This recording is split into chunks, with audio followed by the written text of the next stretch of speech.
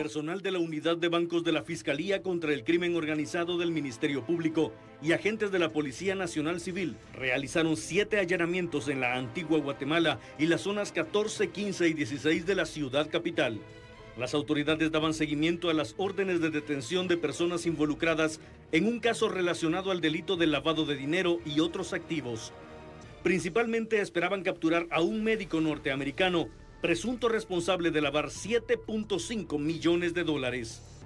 Bueno, en relación a este caso, la Policía Nacional Civil hace el acompañamiento a los fiscales del Ministerio Público que han ingresado a distintos domicilios de la zona 14, de la zona 15, de la zona 16 y también en Antigua Guatemala siete allanamientos en los cuales la Policía Nacional Civil brindó el acompañamiento a los fiscales del Ministerio Público en relación a un caso que se estaba investigando específicamente por parte de una fiscalía. Los investigadores no lograron capturas en estas siete diligencias, pero pudieron comprobar que el médico extranjero celebró las fiestas de fin de año en su residencia de Antigua Guatemala.